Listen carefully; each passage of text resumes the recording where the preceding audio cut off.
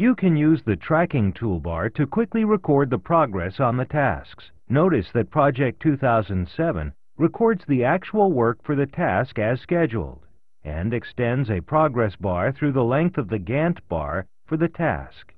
A check mark also appears in the Indicators column. Notice that although 50% of the task is completed, the progress bar does not span 50% of the width of the Gantt bar.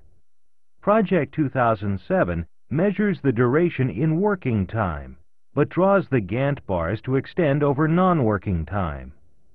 Depending on the type of bar or the symbol you point to, a screen tip providing information about the task appears adjacent to the Gantt bar.